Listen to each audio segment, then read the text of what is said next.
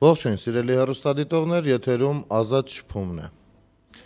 Չնայած որ Երևանում այսօր տոնա կատարությունների սկիզբ է դրվում, այս տարի մի փոքր ավելի վաղ, գիտեք, հասկանալի պատճառներով, այնուամենայնիվ ունենք նաև առանձնացրած թեմաներ ու մենք չենք շեղվի մեր իրականությունից։ Նախ շնորհակալություն բոլոր կազմակերպ կազմակերպիչներին, այս գեղեցիկ օրը, լուսավորությունները, չգիտեմ, ներկայացման մաս, մի խոսքով, այս ամեն ինչի համար շնորհակալություն, որովհետև բավականին գեղեցիկ էր այն ինչը որ փորձում էին դարձյալ վնասել։ Ուրեմն սկսեմ հենց այդտեղից, քանի որ շաբաթ կիրակի էր, ես չկարողացա խոսել ամբողջովին իմ միտքը հայտնել հայտնի Bolt-ի մասին, ուստի մի փոքր ուշացումով, բայց նաև այսպես վերանայելով ամբողջ գործընթացը, դա այսինքն ուշացումը այնքան էլ վատ չի, կարելի է նաև դրական նայել դրան, փորձենք անդրադառնալ։ Լավ։ Ես ուզում եմ հասկանալ այս ամեն ինչից հետո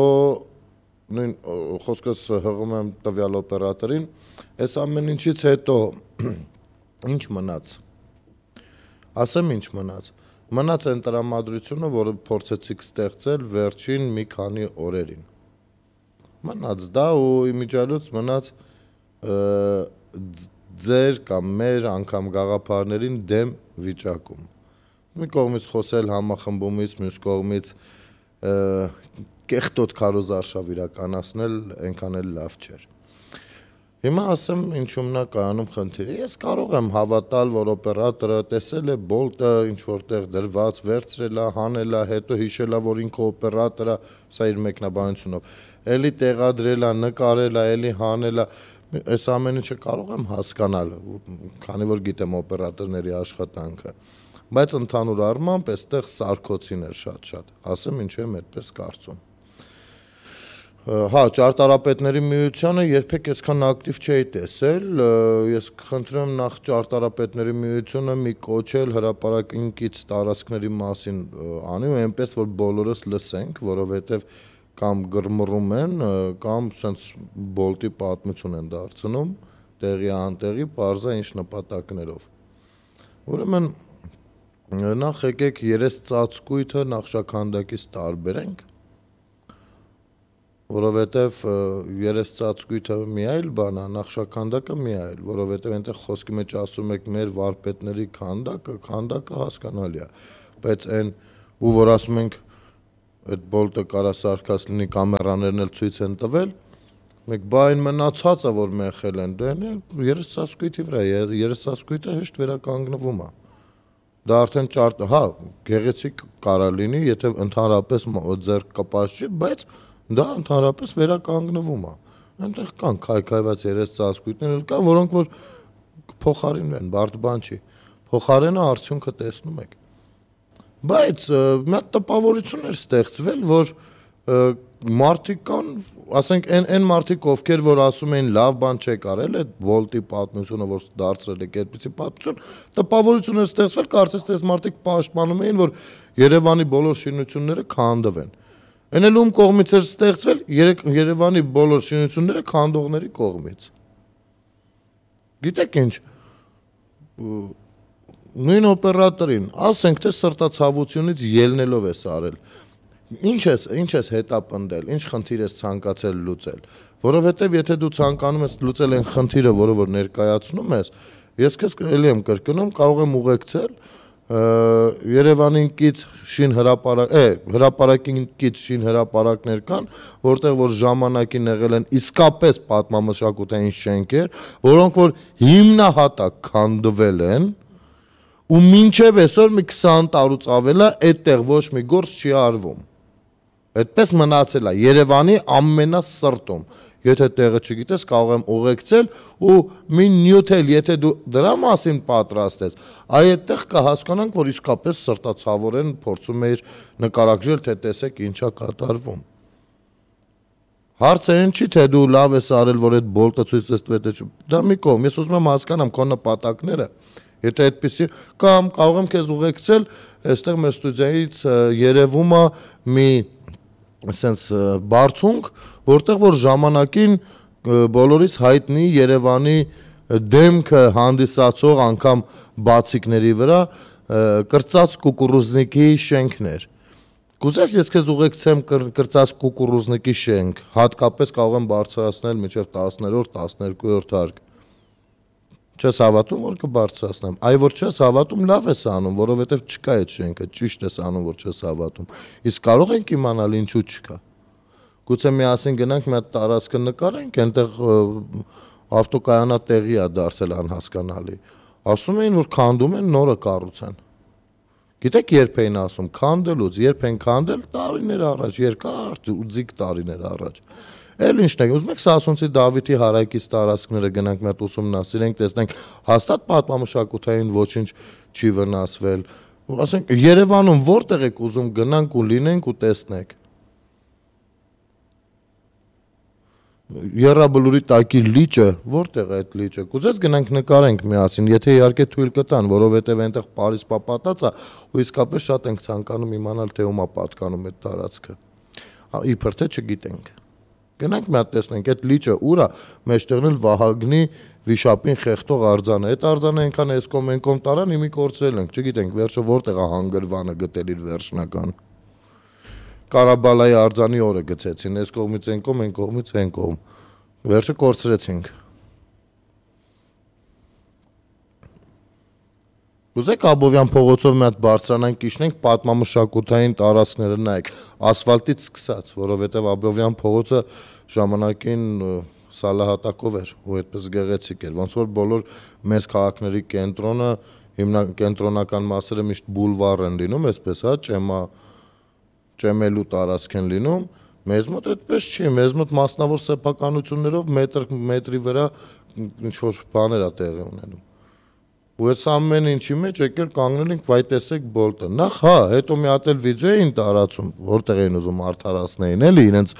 օպերատորին, որտեղ որ մարդը կանգնած դրելով ցակելով իսկապես գործ է անում ու երես ծածկույթն է ցակում։ Ասում է, հենա երևի սա էլ է, հա ձեր ասած օպերատորը։ Չէ, իհարկե չէ բայց այնտեղ երես ծածկույթն է ծակում կրկնում եմ ու այն ձերքի գործիքով ձերքի գործիքով ես չգիտեմ հատկապես այն տղամարդիկ ովքեր որ տարածում են երբևէ ձերքներում նման գործիք բռնել են թե ոչ հավատացեք նման գործիքով չես կարող ճեղք առաջացնել կարող ես ծակել բայց ճեղք չես կարող առաջացնել Իսկ մեզ ցուցադրում էին նախշաքանդակ, մեծ ճեղքված մեջը բոլտը։ Ինչ է խափում։ Կամ մեր սրտացավ օպերատորին հուշեմ հետեւյալը այդ որ տարածում եք ձեր սունկ կանալներով հատկապես այն սյունը որը այս կողքից սյունը իսկապես այսպես հաստ ցակած անցած մի հատ էլ ռետինը խողովակա դուրս գալիս ըստ երևույթին կոնդիցիոների գուցե դա էլ ցույց տակ, որովհետև դուք դա ցույց եք տալիս ու փորձում եք վերագրել այս իշխանություններին։ Հետո պարզվեց, որ 2011 թվականին է դա արվել։ Գուցե մի հատ լուսաբանեք 11 11 թվականին ինչի են տենց այլանդակել ճարտարապետների միություն գուցե մի երկու բառ խոսակ 11 թվականին որտեղ է քնած եղել, այդ ինչ նարկոզի տակ է եղել, որ այդ ճարտարապետական շինությունը այ այդպես ծակվել անց են կացրել են կողմ խոսեք չէ լավա որ խոսում եք որովհետև բոլոր այս տեսակ մարդկանց խոսելը անգամ իրենց լփրիկ լեքսիկոնով մի բան է ապացուցում, որ այո, մենք գնալով ու գնալով ավելի ու ավելի հաստատվում ենք ժողովրդավարության սահմաններում։ Տեսեք, հիմա ես որ ասեմ խոսեք, մի անգամից ինձ այդ հավասար հերոստադիտողներ կլինեն, որ կասեն դե այն ժամանակ ոնց կարող են խոսել։ Այ,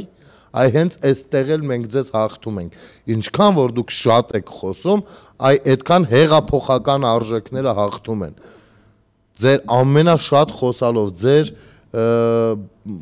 դալաններում չգնդակահարվելով եւ այլն եւ այլն մեր արժեքները դրանով ամրանում է։ Այնպես որ շարունակեք խոսել Շարունակեք խոսել։ Մեր երկրի ճարտարապետները քնած էին, երբ որ մի ամբողջ Էրեբունի ամրոցի տարածքը աղբարնոցի էր վերածվել։ Լավ, իմի կասեք դե դա համապատասխան ուրիշ կառույց պիտի խոսի։ Չէ, ինչի համար։ Մտահոգ քաղաքացիներ եք, հասկանում եք, խոսեք երկու բառ։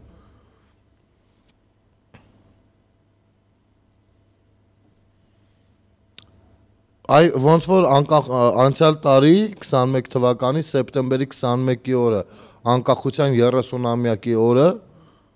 ոնց փորձեցին տոնական տրամադրությունները խեղել ատելության մտնոլորտի մեջ, չէ՞ որ տեսեք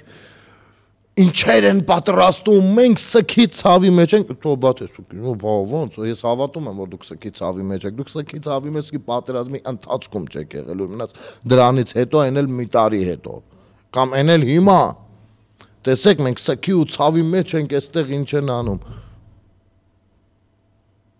Հետո parzvեց ընդհանրապես այնտեղ մարդիկ կան, որ լուսային դրոնները ռազմական դրոններից ոչ մի կերպ չեն տարբերում։ Բայց իրականում ինչ տեղի ունեցավ։ Հիանալի, հիանալի ամեն ինչով համեմված չափավոր գեղեցիկ տոնակատարություն չվիրավորելով ոչ մեկի ոչ մեկի տրամադրություններն ու զգացումները այ դա տեղի ունեցավ Եվ ես այո ամբողջ ընթացքում վստահ եի հենց դրանից էլ ելնելով, որ այսօրվա օրն էլ է գեղեցիկ ու կազմակերպված լինելու։ Որովհետև արդեն սկսել էին ագրավները կրկռալ։ Իսկ այնտեղ ամեն ինչ են հաշվի առնում, այդ դուք չի որ պիտի որոշեք, սենց իբր սրտացավ եք, բայց ինչը խիասես, ձեր գործը չի։ Դուք ձեր լուման փորձեք ունենաք առանց կրկռոցների, մնացածը մի կողմ։ Խնդրեմ, հրաշքը մոտեցնում ենք երեխաներին։ Մանկական Եվրատեսիլի ժյուրիի շոուի եւ մրցույթի 1000-ից ավելի տոմսեր հատկացվել են սահմանամերձ բնակավայրերի երեխաներին, նրանց մասնակից դարձնելու համաեվրոպական այս տոնին։ Ինչի համար ես անձամբ շնորհակալություն։ Ես իսկ ես կարող եմ ասել այսպես, եթե կազմակերպիչները լինեին նրանք, հիմա իրենց բալեկին էին մենակ տարել, ոչ ոք ուրիշ մի հատ տոմս չէին թողնի պլստար հանկարծ։ Ոչ ոք իրավունք չեր ունենա գտնվել այնտեղ բացի իրենց իրենց հարազատների երեխաներից, որովհետև իրենք միշտ վերի արտի ծորենն են եղել։ Դրա համար էլ հետո երեխեքը մեծացել են, ես պիտի զբաղվեմ քաղաքականությամբ, որովհետև իմ papayin դատում եք դուք, այսինչ չարիք եք, մեր երկիրը կանդեցիք։ Երկիրը տեղավորել են իրենց մի քանի 100 քառակուսի մետրանոց սեփականացրած, այն էլ ինչ գնով խափեությամբ սեփականացրած պարիսպների ներսում։ Ու դուք դեռ խոսում եք դրանից։ Գիտեք ինչ, երևի այսքանով սամբանափակենք, եզրափակենք, այստեղ դետալային շատ բաներ կա։ Հետո երբ որ ես գրառում էլ արեցի, այնտեղ կոմենտներ էլ կային եւ այլն, ասում են, բա ինչ, բա այդպես է, ասում եմ, լավ, եթե անգամ այդպես է, խնդիրը դա չի։ Եթե օպերատորը ուներ խնդիր տվյալ հարցը բարձրացնելու, ազնվորեն բարձրացնելու, որ տեսեք, որ այստեղ այսպեսի բան է արվում։ Այո, եթե զարթականդակը վնասվում է, դա պետք է հանրայնացվի եւ հանրությունը իր կարծիքը դրա մասին ասի։ Բայց եթե դա հանրայնացնելուց փորձում են քաղաքական էլեմենտներ դնել մեջը, այստեղ է որ հանրությունը ոչ միանում է այդ թեմային, ոչ էլ մի առանձին հաճույք է ստանում ձեր բարձրացած խնդրից, որովհետև ձեր բարձրացած խնդիրը ծառայում է ուրիշ նպատակի։ Եվ տվյալ օպերատորը ես վստահ եմ հիանալի հասկանում է դա, եթե չքաղաքականացվեր, այլ ներկայացվեր, որ տեսեք ինչ է ստացվում, էլի փնթի են աշխատում, Հանրությունը կմիանար դրան։ Բայց դուք որտեղից իմանաք հանրությունն ինչ է։ Պիտի այդ հանրության մասնիկ լինեք, որ հասկանաք դա ինչ է։ Դուք միանգամից տեսեք այս իշխանություններն ինչ են անում, նախշականդակը ցակեցին, կարծես թե կառավարության շենքից էին իջել այդ դռելը ձեռները վերցրել ու ցակել։ Այո, եթե եկեք հետևողական լինենք։ Մենք հենց դրա մասին ենք խոսում ընդհանրապես, էլի։ Եկեք հետևողական լինենք, խնդիրը դրանում չի։ Բայց մի փորձեք կեղտոտել այդ քաղաքական ձեր պատկերացրած քաղաքականության մեջ, որովհետև ձեր պատկերացրած քաղաքականությունը, այո, հնարավորի արվեստ չէ, իսկապես կեղտոտ ճահճանման ինչ որ բան է։ Լավ, անցածը անցածը ժողովուրդ ջան, սա թողնենք ընդամենը մի գեղեցիկ պատմությունով, որը որ Նարինե Ստեփանյան Facebook-յան օգտատերն է գրառում արել իր էջին, ցանկանամ այդ պատմությունով թողնենք սա։ Ուրեմն Սողոմոն թագավորն ուներ սիրելի մատանի, որի հետևի հատվածում գրված էր. ամեն ինչ կանցնի։ Երբ Սողոմոնը իրեն վատ էր զգում, կարդում էր այդ տողերը եւ հանգստանում էր։ Մի անգամ Սողոմոն թագավորի հետ դժբախտություն պատահեց։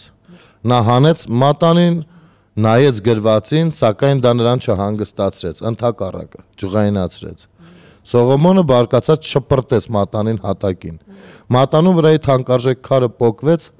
թակավորը զղջաց, որ կոտրել է իր սիրելի մատանին, վերցրեց հատակից եւ կարդաց երկրորդ գրառումը, որը գրված էր քարի տակ։ Կանցնի եւ սա։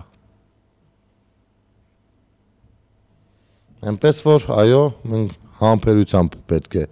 զինվենք։ Դե ինչ, Դավաճանների պակաս չունենք, միանգամից անցում անենք դավաճաններին, դավաճանների պակաս չունենք ոչ միայն ռազմական ոլորտում, այլ նաև քաղաքագիտական, հա, էքսպերտներ, ասենց ասեմ, քաղաքագիտական դաշտում մարդիկ, ովքեր որ փողով խոսում են եւ ինչ հարկավոր լինի, դա կխոսեն։ Ուրեմն ես ասել եմ էլի կասեմ, ժողովուրդ ջան, ընդհանուր առմամբ հերոստատեսությունը համարվում է աշխարհի ամենաէֆեկտիվ զենքերից մեկը։ Մոտավորապես այնպեսին, ինչպեսին են ատոմային զենքը եւ այլն եւ այլն։ Սա աշխատում է մի փոքր այլ կերպ։ Սկզբում դու նայում ես անգամ եթե քեզ տհաճա, նայում ես ինքնաբերաբար ու երբ որ կողքից ասում են, բայց ինչի ես այդ հաղորդումը նայում, ասում եմ, դե ուզում եմ տենամ ինչ են խոսում, էլի թե չես հասկանում եմ, բան։ Հետո անցնում է մի կարճ ժամանակ, քիչ-քիչ ինքը սկսում է կախվածություն ունենալ, քիչ-քիչ սկսում է մտածել այդ լադի տակ այդ տրամադրությունների մեջ ու քիչ-քիչ ինքն էլ չի հասկանում ոնց ինքը դարձավ այնպեսին։ Ինչպես է ռոպագանդան աշխատում, դա սարսափելի է, պետք է ուղղակի շատ մանրամասն չեմ կարող նկարագրել, մի քիչ մասնագիտական բաներ էլ կան, չնայած մի քանի անգամ փորձել եմ օրինակներով ցույց տալ։ Ու այս դաշտում, երբ կան քաղաքական գործիչներ, ովքեր փողով են ընդունակ խոսել, այսինքն ինչ որ մեկի օկտին, իրենք դա բացահայտ չեն անելու։ Դա անելու են շատ ճիշտ տեղեր խփելով, շատ թույլ տեղերի կպնելով եւ այլն եւ այլն։ Հասկանում եք։ Ինչը մեծ վնաս է բերելու, որովհետեւ այստեղ հասարակությունն է նայում ու հասարակության մի որոշ շերտ շերտ կարող է ազդվել դրանից, ինչը հետագայում կարող է խանգարել մեկ այլ հանգամանքների, թե կլինի աշխարհքաղաքական, թե ներքաղաքական։ Մի մեկը կար էս վերջերս փորձում էր փայլել հայկական տիրույթում, դարձյալ իր անեծքներով ու սենց ինչ որ պաթոսներով, ինտոնացիաներով, Ուրեմն գոյություն ունի black chat հասկացողություն, թուրքերն են այնտեղ հիմնականում նստած։ Սրան զանգում են իբր որպես Ռուսաստանից ներկայացուցիչներ, իբր ազգությամբ ռուսներ, դե ոչ են սկզբից ասի մենք թուրք ենք, ու առաջարկում են, որ սա գնա ռուսական հերոստատեսություններում որպես պոլիտիկի էքսպերտ, քաղաքական էքսպերտ խոսալու, ու համոզում են թե իբրտես Մարգարիտա Սիմոնյան Կուրգենյան բան հնացել են, հիմա մենք ուզում ենք նոր թափավորենք, այ քեզ հravirում ենք լուրջ գումարների մասին է խոսքը, ու սա համաձայնում է, համաձայնում է խոսել ում օկտին, ինչի օկտին ուզում է լինի։ Հետո վերջում է parzվում, որ այդպես է։ Սա դավաճանություն է, որովհետև դու ինչ որ մեկ դու գնում ես այնտեղ խոսելու ինչ որ մեկի օկտին փողով, ուրեմն այդտեղ իրենք նույնպես ինչ որ բան են, չէ՞ ակնկալում։ Եթե քո առաջ օրինակ, այս հաղորդումը որ կա, ժողովուրդ ջան, անկեղծ ասեմ ձեզ, այս հաղորդումը ինչպես է ստեղծվել։ Ես ստացել եմ առաջարկ, մենք տնորենի հետ եկել ենք պայմանավորվածության ու ամենակարևոր պայմանավորվածությունը եղել է հետեւյալը, որ երբեք ոչ ոք ինձ չասի եթերից ինչ խոսեմ, ինչ չխոսեմ։ Այստեղ ինչ որ կա, բոլորը իմ պատկերացումները նա, իմ ընտրությունն է, ես եմ իմ նյութերը դասավորում, ինչ խոսեմ, ինչպես ինչպես ներկայացնեմ, շատ բաներ հենց իմպրովիզացիա է լինում, տեքստ չեմ գրում, ոչ ոք տեքստ չի գրում եւ այլն եւ այլն։ Հասկանում եք։ Այսպես པարզ ազատ շփում է, ազատ բարի եւ շփում բարի ամբողջ իմաստով որովհետև եթե երբ որ մեկը ասի ինչ խոսեմ, ու այդպես է պայմանավորվածություն եղել, որ հենց եղավ խոսակցություն, որ այս ինչ բանից մի քիչ մի խոսիր, այս ինչ բանից խոսիր, այս հաղորդումը կփակվի։ Այսինքն եթե մի օր տեսնեք հաղորդումը փակվել է, երևի թե ամենահավանականը նման մի բան եղել է, ինչը որ չեմ հավատում։ Այսպես։ Իսկ փողով խոսացող այդ ռոպագանդիստները բնականաբար ծառայում են կամ նրանց ծառայեցնում են այլ նպատակների համար։ Կարճ դաթար մեր եթերում։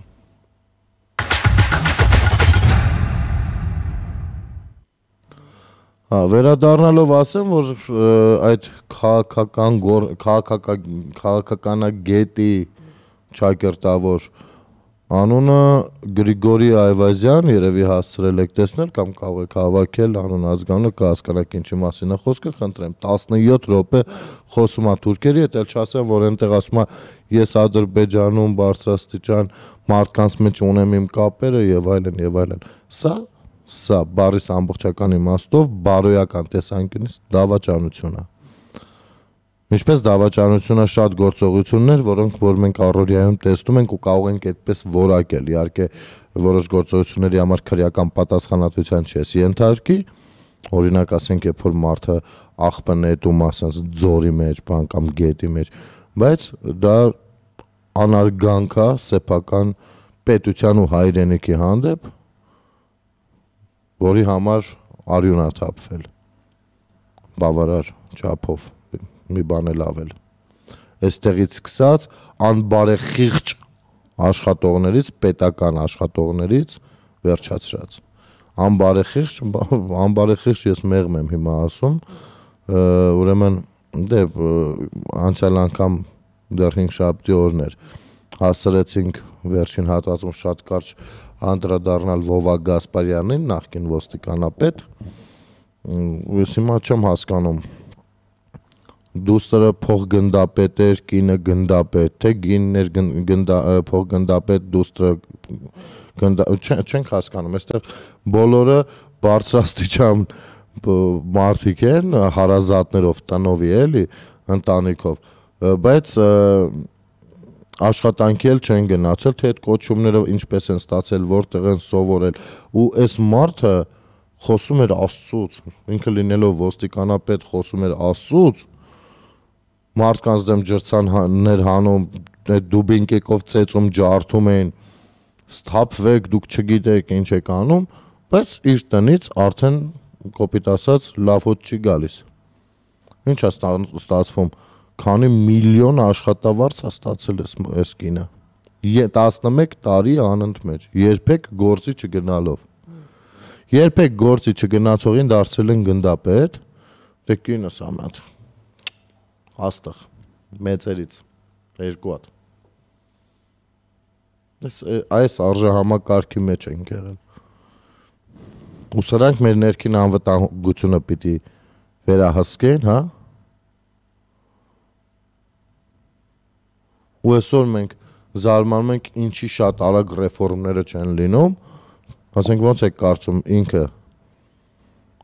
այդ մարդը, այդ ամբողջ համակարգում ում ոնց նշանակած կլինի 90% դեպքերում։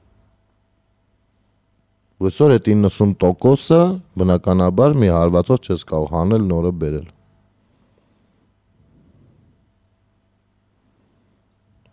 Այնպես որ process-ները դանդաղում են ու դանդաղելու համար պետքա ճիշտ ընտրենք ում պիտի մեղադրենք, էլի ում արժի մեղադրել։ Ես падգամավորական մանդատի թիկունքում չեմ թաքնվում։ Ինձ համար մանդատը ժողովրդին ծառայելու,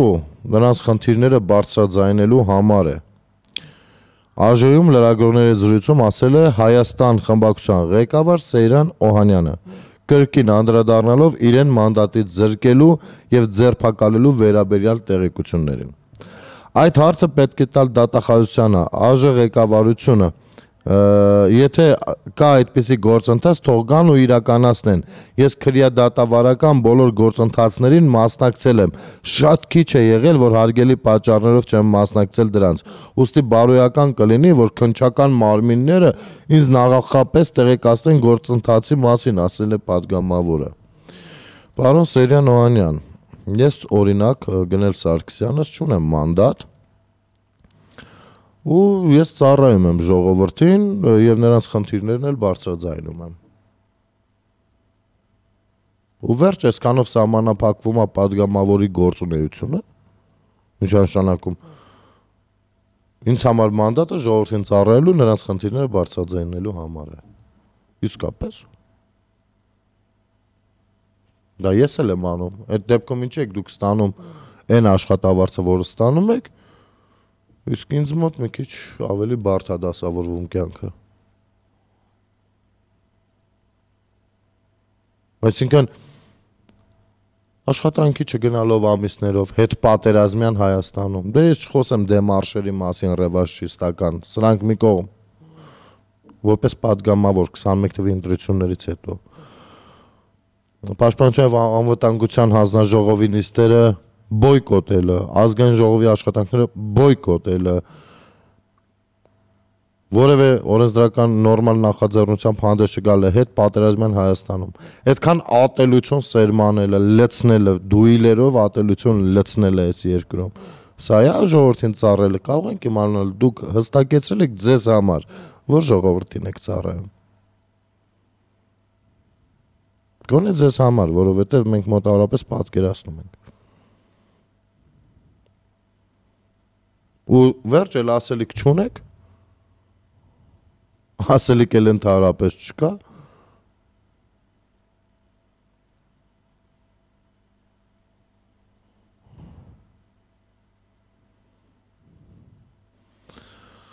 Դե ինչ Երևանի Երևան քաղաքին անդրադառնանք։ Երևանի քաղաքապետարանի ենթակայության տակ գտնվող Երևանի ավտոբուս փակ բաժնետիրական ընկերության 10 վարորդներ Այսօր մեկնել են Գերմանիա 12 օրյա վերապատրաստում անցնելու։ Այս մասին այսօր դեկտեմբերի 5-ին Երևանի քաղաքապետարանում գործակարգավարական հերթական խորհրդակցության ժամանակ հայտնեց Երևան ավտոբուս ՊԲԸ տնօրեն Էլբակ Թարփոշյանը։ Նրա խոսքով վարորդների ընկերության գործընթացը կրելու է ամենօրյա բնույթ։ Այս պայդրությամբ ունենք 275 գրանցված վարորդ, որոնք հիմնականում Արարատի եւ Արմավիրի մարզից են։ Առաջիկայում նրանց փաստաթղթերը կընթարկվեն մարակրկիտ զննության, որից հետո ամեն Կիրակի մեզ մոտ կկազմակերպվի պրակտիկ ավտոբուսով երթևեք, նշեց Տարփոշյանը։ Հիշեցնենք, որ դեռևս մայիսին հայտնի դարձավ, որ Երևան համայնքը կառավարության աջակցությամբ ձեռք է բերելու 100 հատ գերմանական արտադրության 12 մետրանոց մեն մագնիշի ավտոբուս, որոնք Երևանում կլինեն 2023 թվականի մարտ-ապրիլ ամիսներին։ Ձեռնարկը շատ լավն է։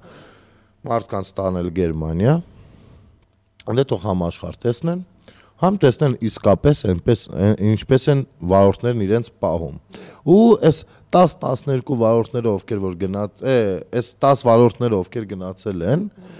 կխնդրեմ ֆիքսեն, ֆիքսեն այդ 10 օրվա մեջ 12 օրվա մեջ քանի ծխող վարորդ կտեսնեն ղեկին 1 քանի վարորդ կտեսնեն ովքեր գումարը գրպանում են Եվ եթե իրենց տեսածը հավասար լինի 0-ի, իմ կարծիքով կան են ենթադրություն, որ գուցե նաև այդ պատճառով է, որ տրանսպորտային համակարգը այնտեղ այդ աստիճան զարգացած է։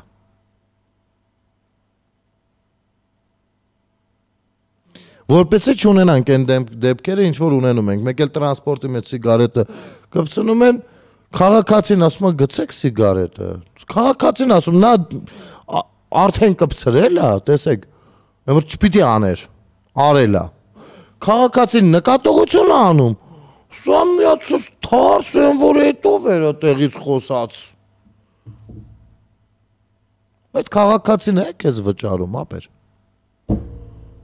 Այդ ավտոբուսի գումարից սկսած, քո աշխատավարձից վերջացրած։ Ուղղա չի կարելի ծխել։ Մի հատ էլ մի վեճ, բանավեճի են բռնվում, մի բան են, որ հենց առաջի նախադասությունից արդեն սխալ է, վաղորդը չպիտի խոսի։ Այ քեզ բան։ Հիմա գնացել են, տեսնենք քանի հոգի կտեսնենք ու կգանք։ Թողան ձեզ ասեն։ Ես հիմա պատրաստ եմ գրած գալ ցանկացածից, ելի եմ կրկնում, որ իրենց տեսածը այդ երկու խախտումների վերաբերյալ հավասարա լինելու 0-ի։ Ու սիրելի քաղաքացիներ, եղեք հետևողական, վարորդների ձեռքը գումար մի տվեք, խնդրում ենք, կամ եթե տալիս եք, վերցրեք մանր ամբողջ գումարը, դուք ձեր ձեռքով 100 դրամը գցեք արխի մեջ, որովհետև այդ գումարներով է գոյատևում այդ պարկը, ՊԲ-ն։ Այդ գումարներով է, որ նոր ավտոբուսներ են գալիս, տրոլեյբուսներ են գալիս, դրանք կարող են ավել լինեն, դրանք կարող են ավելի լավը լինել, կարող են այդ գումարներից նախապատրաստումների գնալ Եվրոպա, գալ, շնորհքով գեղեցիկ սպասարկեն։ Եղեք հետևողական։ Մի աչք փակեք, որովհետև ամեն մեկը մտածում է, որ դա իրան չի հետաքրքրում, հիմա ինչ ա եղել։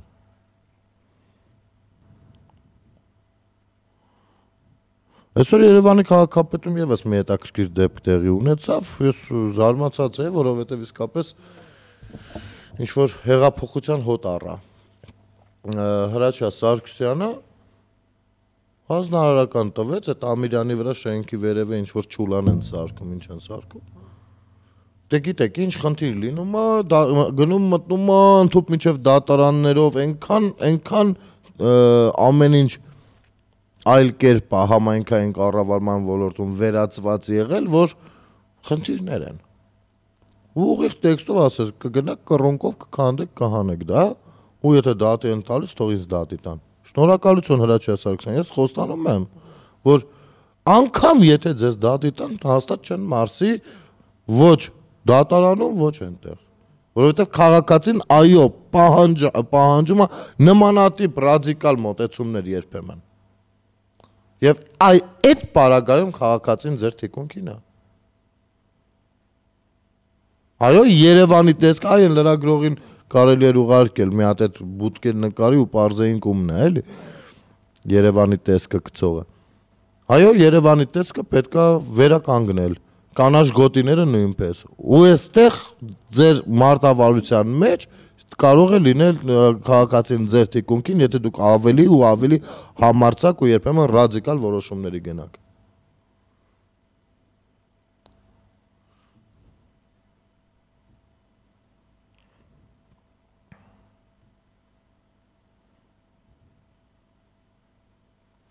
Հայաստանի Հանրապետության գլխավոր դատախազ Աննա Վարդապետյանը դեկտեմբերի 3-ին աշխատանքային այցով Շիրակի մարզում էր։ Նախ ասեմ, որ ինչ որ այո, այնտեղ sense դատախազությունում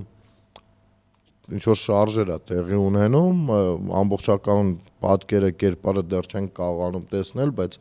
ասել, որ իր նույն դիրքում, ինչպես Արթուր Դավթյանի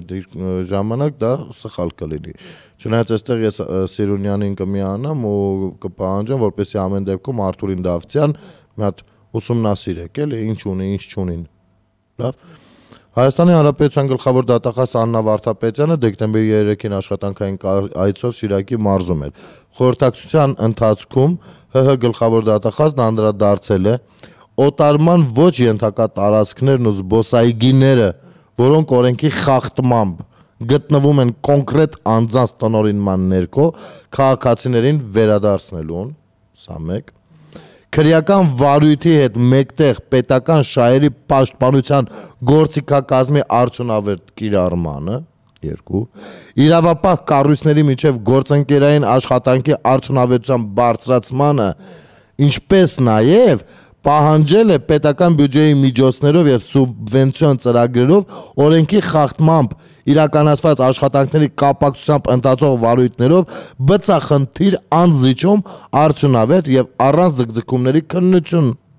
այդ համատեքստում ընդգծելով, որ հարկատուների միջոցներից իրականացող ծախսերը, այդ թվում սուբվենցիոն ծրագրերը պետք է լինեն նպատակային եւ արդյունավետ։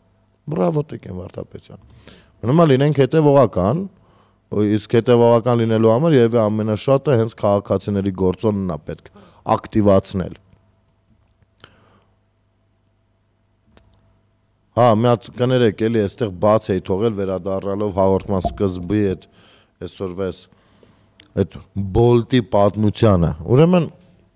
բացի ճարտարապետների միությունն ու քաղաքական կոնկրետ իրենց քաղաքական հրճակած թև ովքեր որ բոլտը քաղաքականացրեցին այնքան ինչքան կցանկանային այստեղ դարձյալ եկեղեցու ներկայացուցիչներն էլ էին խառնվել հասկանում եք հայր ասողիկ Կարապետյանն է գրառում արել։ Պարզապես պետք է ազգային պատմամշակութային արժեքները սքանչելակերտ հուշարձանները պղծողների ջախջախողների ձեռքերը կոտրել այլև այն բոլոր պատասխանատուների, որոնք նման որոշում են կայացրել եւ գործադրել։ Նզովյալ լինեք դուք ամենքդ, որ չարության թթխմոր եք ձևավորում հայր ասողիկ քահանան կարծում է չարության թթխմոր ձևավորելու մեջ մեղադրելու մեղադրու մեղադրականը բարի գործ է այսինքն կարծում եմ եթե մեկին վիրավորում է ու մեղադրում է չարության թթխմոր ձևավորելու մեջ ինքը լավ բան է անում հայր ասողիկ քահանա քահանա չէ չգիտեմ։ Արդեն արդեն հոգնում ես կարծես զզվում ես։ Հայր ասողիկ։ Ես իմ մեքենայով պատրաստ եմ ինքս վառելիքը լցնեմ ու մենք միասին Հայաստանի Հանրապետության համենահարավային կետից Մեղրիից բարձրանանք Հայաստանի Հանրապետության ամենահյուսիսային կետը Աշոցք Ուղղակի դուք պիտի մոտ մի ամիս, մեկ ամսով արցակուրտ վերցնեք, ես էլ պետք է վերցնեմ։ Ու ես ես ցույց տամ, թե դուք եկեղեցին կոնկրետ եկեղեցու սպասավորները, ձեր վերադասները ինչպես են պղծել պատմամշակութային արժեք ներկայացնող կոթողներն ու եկեղեցիները ինչպես ինչպեսի արհամարական վերաբերմունք ա եղել ընդཐུպ միջև գոմի վերածած վայրեր կարող եմ ձեզ ձեզ ցուցադրել գոմ որտեղ որ կովը ու աթար կա լավ այսպես հա կարող եմ ցուցադրել եւ դուք հայոց դες կարող եմ օգնել անգամ այդ հարցում միասին գնանք ու կոտրենք այդ ձեռքերը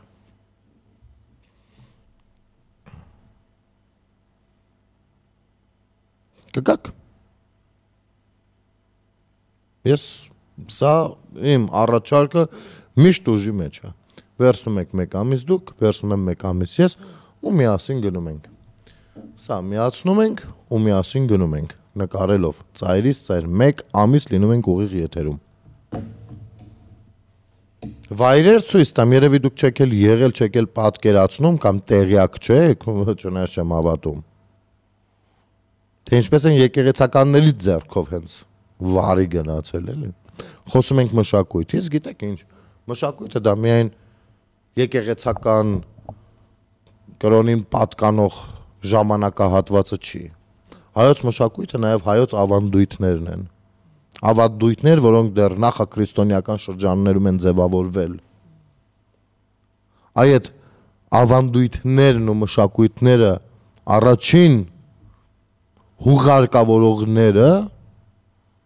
կամ ավելի ճիշտ կլինի ասել հերձողները նրան եղել եք դուք ու առ այսօր այ արժևում էլ ամանորա ամանորյա տոների ոչ տոներին ոչ ավանդական արդեն մեծամասամբ ոչ ավանդական մոտեցումներն էլ ձեզ վկա ուր եք ուզում գնանք կետ ասեք Հայաստանի Հանրապետությունում, ես ձեզ տանեմ։ Կամ կարող եմ ես ձեզ կետ ասելու գնանք։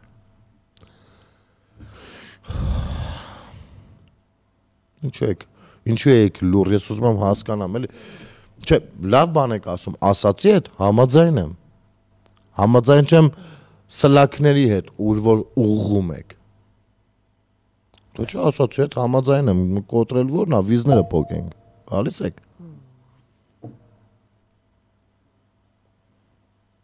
Եվ հեչ միտք չկա համացածում ժամանակ առ ժամանակ ելնելով Գարեգին Բ-ի հաջոյա խոսությանը հաջողանալու парքի այդ վարքյանները գրելու ցանկությունից ինչ որ ուղություններով ատելության խոսք քարոզել։ Դրա կարիքը չկա, շնորհակալ ենք։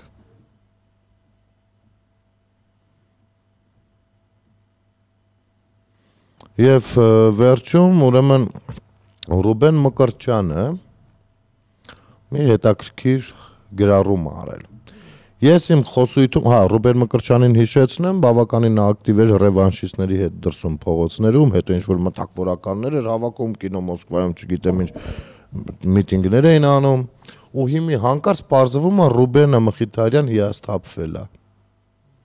Ես իմ խոսույթում միշտ ազնիվ եմ եղել եւ ասել եմ բաներ, որոնք երբեք դուրս չի եկել իշխանությանը Փարք Աստծո եւ շատ հաճախ նաեւ ընդդիմությանը, որի ընտրողներից մեկն եմ։ Հայտարարություն։ Ես այս ընդդիմությունից այլևս ոչ մի սпасելիք եւ ակնկալիք չունեմ։ Նրանք իմ համար որպես իշխանության հակակշիռ կամ որպես ընտրող խնդիրների բարձրացնող ուշայերի պաշտպան գոյություն չունեն։ Նրանք տապալել են իշխանապողության միսիան եւ որպես մեկ կուր միավոր չկան եւ դե ֆակտո եւ դե յուրե։ Ըստ այդմ ես իմ էջում այլևս չեմ անդրադառնալու ընդդիմության գործելակերպին, քանզի գոյություն չունեցող բաների մասին խոսել չեմ սիրում։ Բա Ռուբեն, բա մենք էլ այդ ենք ասում։ Այդ էինք ասում, երբ որ մեր խոսքերին հակադարձում էիք հայ-հոյա խառն խոսույթով մենք հենց սրա կամ վիրավորական արտահայտություններով կամ ձեր պատկերացնելով մենք չէինք հասկանում, բայց մենք սա ենք ասում, որ ասում ենք դուք կարող եք համաձայն չլինել, դուք կարող եք ընդդիմանալ, դուք կարող եք ընդհանուր ակցիաներ կազմակերպել, բայց ոչ նրանց հետ, ումից հենց հիմա դուք հիասթափվել եք։ Իսկ եթե հանկարծ հաջողեք, պատասխանը ով էր տալու Ռուբեն Մխիթարյան